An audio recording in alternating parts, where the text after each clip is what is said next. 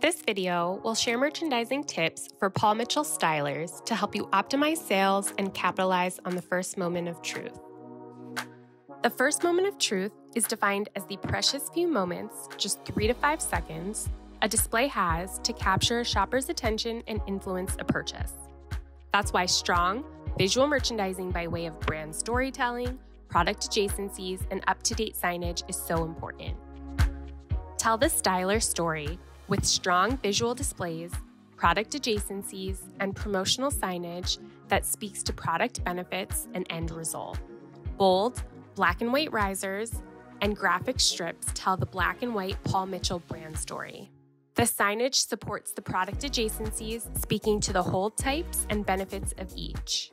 The larger sign acts as a focal point and communicates the promotional message. Together, the entire display highlights our point of difference and the value of the promotion. Posters, shelf talkers, and POPs that reflect the products on display will help guests easily select the products that are right for them and, in turn, help increase your take home sales. Remember, no matter the size of your business, visual merchandising, planograms, and being mindful of the first moment of truth are key to success. To access the planner and additional merchandising videos, log on to the PM Pro section at paulmitchell.com.